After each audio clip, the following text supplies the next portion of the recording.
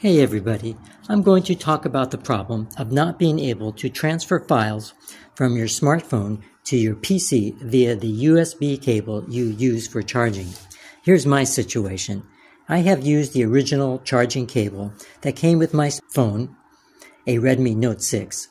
I had been using it for about one year and nine months to transfer files with no problem.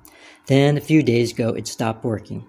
That is, when I plug it into my computer, I no longer receive the pop-up menu showing me the option to charge or transfer files. It does charge a phone, but my PC does not see my smartphone. Now, if you've gotten this far as to search YouTube for solutions, you probably already know that the first troubleshooting step is to make sure you are a developer and have enabled USB debugging.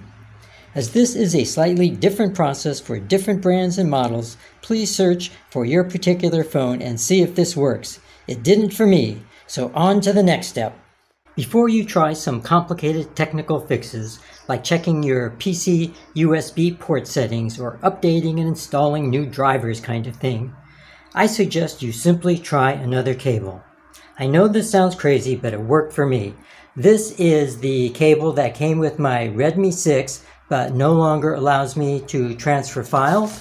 And this is a cable that I bought at 7-Eleven for not very much money, and it works just fine. I will show you. I'm plugging in my new cable, and voila! My file transfer option has returned. It's that simple. I don't claim this solution will work for everybody, but it's an easy and inexpensive way to help troubleshoot and isolate the problem. Good luck and remember, your mileage may vary. For more tech videos, including VideoPad video editor tutorials, be sure and check out my tech computer playlist from the link in the description below.